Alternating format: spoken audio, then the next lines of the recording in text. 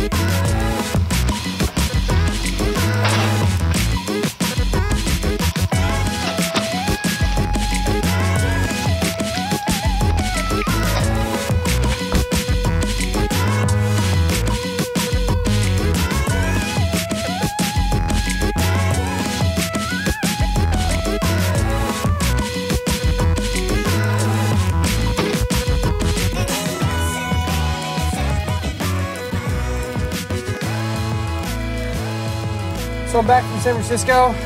It was cold and uh, awesome all at the same time. But uh, returned to some sad news today or yesterday. James Horner, composer of some tiny films. Uh, you might remember Titanic or Braveheart or Aliens uh, and some newer stuff, which I can't recall. Died in a plane crash yesterday piloting his own little airplane. That's just that just hurts me. Hurts me in all the wrong places. Even in San Francisco, the drought is killing, but it still doesn't make any damn sense to me. It's like we're barbarians living back, I don't know, in the BC era when we still had to pray for rain from the sky. Humans are fully capable of desalinizing, filtering, and making fresh water for everyone, everywhere on the planet. Not that I'm saying we should give it all away, but I do believe it should be allowed and acceptable to desalinate on large, massive scales. Yes, there'll be some pollution. There will be some brinish, brackish water that has to be dealt with. But the answer is not conservation.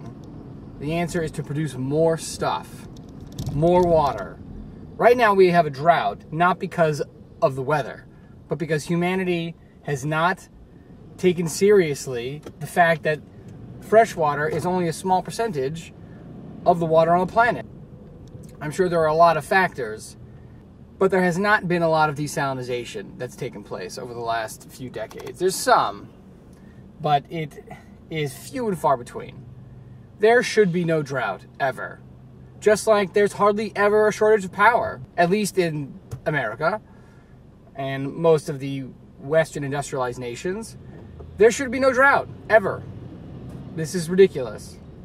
And now, because people either lack the foresight or weren't allowed to build these plants, or there's too much bureaucracy, or it's too expensive, now we have a drought.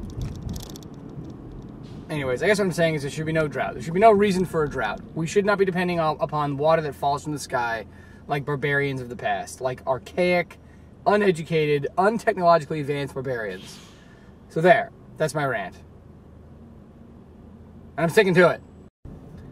And speaking of drought, what the hell is with the drought of hope in Game of Thrones? That final episode just hurt my butt a lot. I mean, it was amazing. That show is amazing. Who doesn't like Game of Thrones? Even assholes like Game of Thrones. Everyone will die in this series. Everyone is going to die. Oh, you, you think Daenerys is going to be uh, the queen of the Seven Realms? No, she's probably going to die. No, they're all going to die. Oh, maybe Jon Snow. Maybe he'll get resurrected at the end of, uh, beginning of season six. Maybe, but he's still probably going to die. And I don't know if I'm coming back for the next season. And I don't care about all those crazy crazy problems about uh, violence against women in Game of Thrones, or the rape of Sansa Stark, or the burning of the uh, of that of the daughter. I forget her name now. A link below, because that's just the realities of war, and so it's expected. And if you read any history at all, World War One, World War Two, Roman, the invading military, and the individual soldiers responsible for that invasion, raped, pillaged, murdered, outside the scope of battle, they commit war crimes in every war.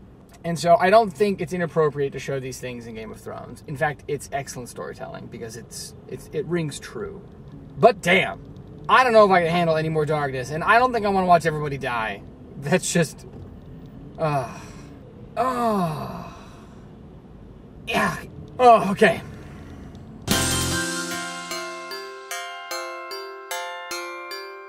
If you like what you saw, please don't forget to subscribe, check out my Instagram, and leave your comments below. Thanks.